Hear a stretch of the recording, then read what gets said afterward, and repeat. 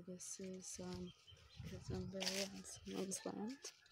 It's very interesting with all the art and um, yeah, very trippy, very symbolic, and you all the interesting art.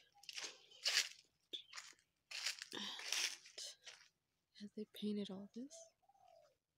Try you that I kind of like going this way.